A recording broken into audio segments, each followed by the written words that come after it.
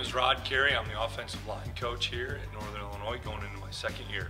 I love football because it is a great team sport where the left guard is as important as the quarterback is on any given play. I love to coach because I was coached by some great men who shaped and molded my life and I want to return that favor as much as I can in this profession.